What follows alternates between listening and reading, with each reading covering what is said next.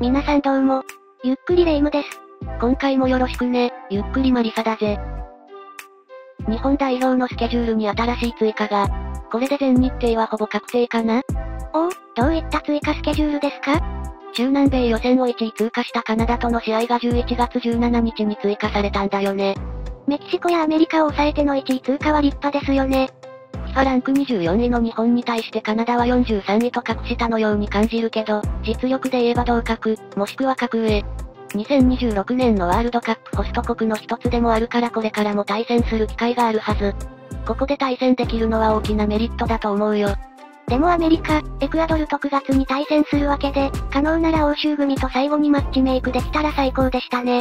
反町協会委員長も、対戦するドイツ、スペインを想定し、当初はポルトガルなど欧州勢との対戦を模索したらしいんだけど、交渉が不調に終わり、候補の中では最も力があると思われるカナダに決めたとのこと。強いところとやらないと課題が出ない。緊張感のある試合をやることが森保監督の意向だった。真剣にワールドカップに向けて準備をしている国だと目の色も違う。課題も見えてくる。とのこと。そういう意味ではカナダは問題ないのかなと思うよ。森保監督もこのマッチメイクを受けて、初戦となるドイツ戦の前にコンセプトのすり合わせ、コンディションの把握など、様々な情報を得て、最後の強化につなげていきたいと思います。とコメント。最後に良い調整になればこれに勝ることはないね。なるほど。カナダ代表の注目選手は誰になるんでしょ？挙げるとしたらバイエルンに所属しているアルフォンソ・デイビスになるよね。10代でバイエルン・ミュンヘンに移籍、10代でデビューし、10代で初ゴール。2019-20シーズンにはブンデスのルーキーオブザイヤーに選出され、さらに CL 制覇も経験。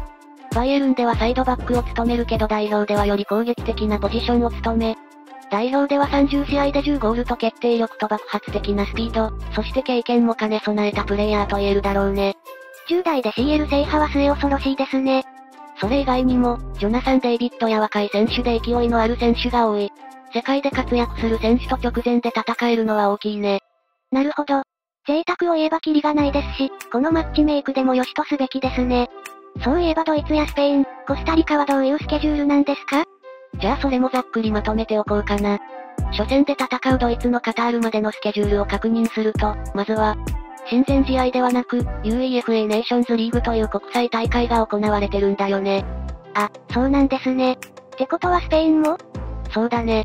欧州と親善試合を組みづらかった背景にはこういった理由もあるんだ。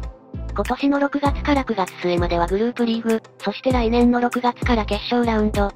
つまり、カタールワールドカップの直前まではグループリーグの試合が予定されてるってこと。なるほど。ドイツが所属するグループはイタリア、イングランド、ハンガリーという市のグループ。これはなかなか豪華ですね。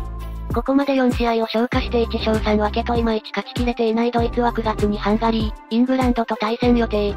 この2試合を終えた後はカタールワールドカップで日本と対戦するスケジュールだね。もしかしたら非公開での試合なんかも組まれるかもしれないけど、基本的には事前の試合は欧州のチームばかり。ドイツぐらいになると問題ないかもしれないけど、南米のチームとやらずに本番に向かうのも少し不安ですね。こういった大陸ごとの国際大会は少しずつ増えてきているから、大陸をまたいだ強化試合ってのは年々組みづらくなるかもしれないね。これはまた別の機会にまとめるよ。メリットも弊害もありそうですもんね。とにかく、ドイツとスペインはネーションズリーグが直前まであるって話ですね。そう、でスペインもほぼ同じ日程で2試合が予定されている。スペインが所属しているグループにはポルトガル、スイス、チェコというこれまた強豪揃い。ユーロみたいなものだと考えたら楽な組み合わせなんてないですもんね。そうだね、スペインは9月25日にスイス代表と、9月28日にはポルトガルと対戦する予定。これまた豪華ですね。ただドイツ、スペインともに強豪がひしめくこのグループをここまで無敗で終えている。そういう意味でも両国とも順調に仕上がってるんじゃないかな。うーん、直前の試合を見てみたい。あとはドイツ代表で言うと、多くの選手がバイエルンに所属している。マネが加入して、レバンドフスキが抜けるなど攻撃陣の格が変わった感があるバイエルンだけど、例えば、19歳の新鋭、ムシアラはブンデスで5試合で4ゴールと爆発しているし、キミッヒやミュラー、サネなどドイツ代表でも日本に立ちはだかりそうな選手の多くはバイエルンに所属している。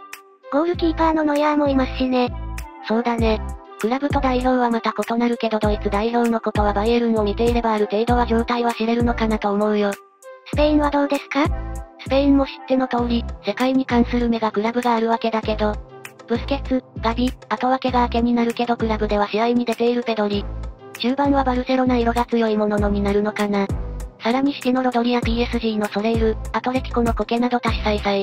いやー、豪華ですね。フェラントーレスやアンスファティ、この辺もいるしバルサ勢が中心になるのかな。ってことはバイエルンのようにバルサの試合をチェックしていればスペイン代表の状態もわかる感じですね。たださっき中盤で他クラブ所属の選手も名手揃いってことからもわかるように、代わりの選手はそれこそいくらでもいる。これはスペインに限らずドイツにも同じようなことが言えるよね。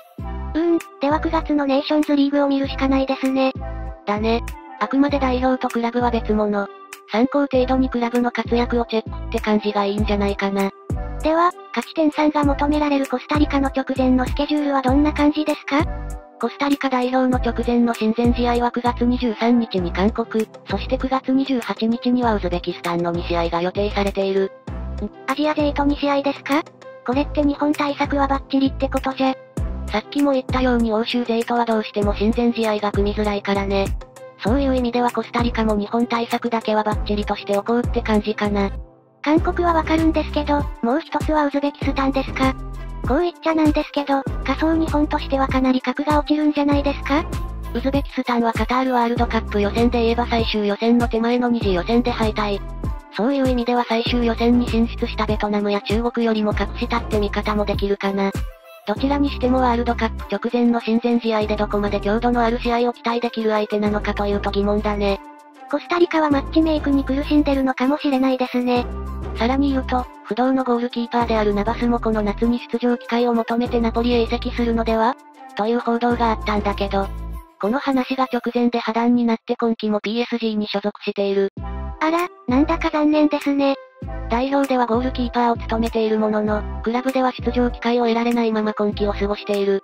直近だとそれこそ PSG が日本に来た時の親善試合で浦和戦でスタメン出場してるものの、リーグでは出場機会はないし、カタールワールドカップまではあっても、カップ戦や怪我など不足の事態でしか考えられない。ということは試合感の戻らないまま、本番を迎えることも、もちろん実績や経験が豊富な選手だから、致命的にはならないだろうけど。それでも日本にとっては移籍が実現せずでよかったのかもしれませんね。まあ、相手は相手。日本は日本で強化や準備に集中するのがベストだね。